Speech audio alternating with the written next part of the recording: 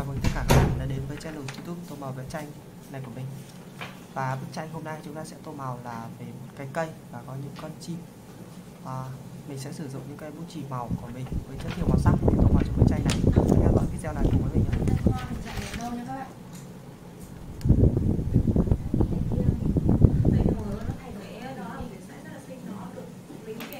Phần thân cây thì mình sẽ sử dụng màu nâu, tô màu.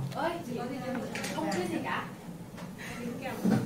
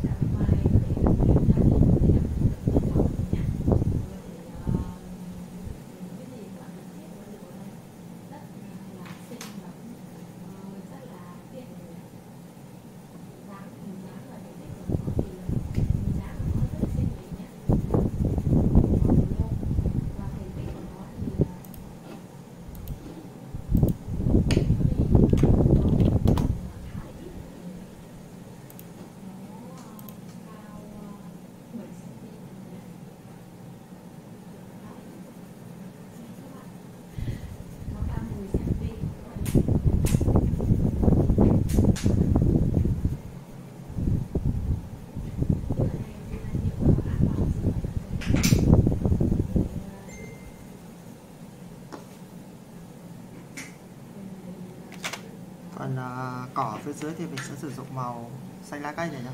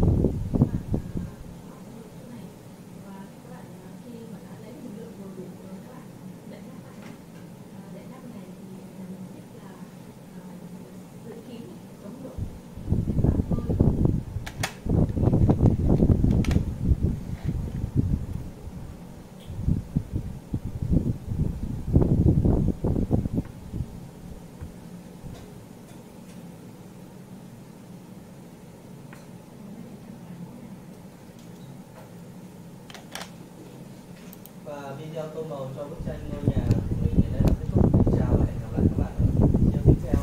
Các bạn nhớ like à, mình đã tô màu xong cho bức tranh về cái cây